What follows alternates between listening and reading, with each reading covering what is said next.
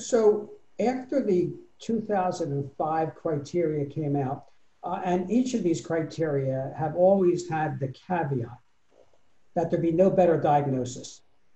It's been every diagnostic criteria for multiple sclerosis going back, I don't know how far now, has always had that caveat because dissemination in time, dissemination in space is characteristic of multiple sclerosis, but not unique to multiple sclerosis.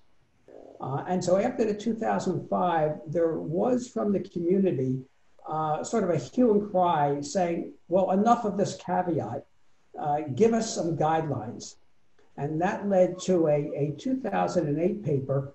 Uh, the lead author was, was David Miller from your institution, Wallace, um, that amongst other things, uh, provided some very useful differential diagnosis information in the form of charts uh, that had uh, high probability, medium probability, low probability of red flags of things that should be watched for, that if you see those, then you ought to rethink your diagnosis of multiple sclerosis, independent of whether someone fulfilled these criteria or not. That was published in the Multiple Sclerosis Journal in December of 2008, but had interesting things like um, a red flag if you have a persistently enhancing lesion. Uh, one ought to think of something else. If you have joint disease concomitantly or skin rashes or things of that sort, that one ought to think of something else. Um, and, and, so, uh, you know, that was already 12 years ago. Do you see it? You think you see a need to update those?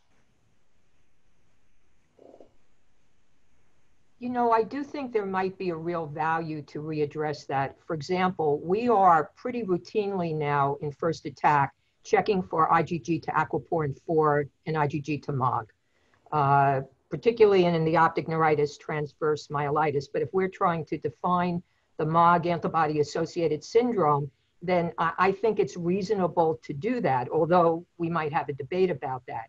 I do think there would be some help in a reanalysis of what might be recommended evaluations and workups for ruling out other conditions. I agree entirely with what Patricia said, but I'd also highlight that in recent years it's become clear that the conditions that are most likely to be mistaken for multiple sclerosis and multiple sclerosis is likely to be misdiagnosed are actually other quite common conditions. For example, migraine, functional neurological disorders, non-specific white matter lesions on MRI that you might see in people with vascular disease, for example. So I think while it's helpful to emphasize the, the rare or the less common conditions that can mimic multiple sclerosis, actually all neurologists should be vigilant to the fact that actually common neurological disorders can, can also be included in the differential diagnosis of MS. So this has actually become something that developed more concern about it. And, and when we were doing the 2017 criteria, we spent a reasonable amount of time talking about this concern over misdiagnosis. And there have been a number of, of good papers on this over the last several years, highlighting what you said, Wallace, that there was common things and uh, migraine and, and vascular disease and psychiatric disease and such like that. And one of the big drivers of the error was misapplying the MRI criteria. And I think that, you know, they've been laid out, for example, that a periventricular lesion ought to touch the ventricle and, and, and the, the juxtacortical lesions should touch the cortex, if not included entirely, and things like that. Not because MS can't produce lesions that don't do that, but because the basis of the criteria was on lesions that did do that. And they also reemphasized the size, three millimeters or greater. Yeah. So, so misdiagnosis was an issue. And then, almost shockingly, when one looked at how the misdiagnosed patients were treated, they were treated quite aggressively um, with disease modifying therapies, which we're all happy to use in patients with MS, but not so happy to see them used in patients who don't have MS since we have the new definition of the criteria with all these um, items you already mentioned, do you still think that we have a high percentage of misdiagnosed patients? I suspect we do.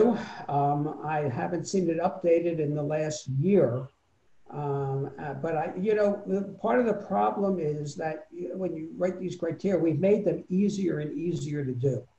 Yeah. Uh, but the downside of easier criteria uh, are that they could be more easily misapplied.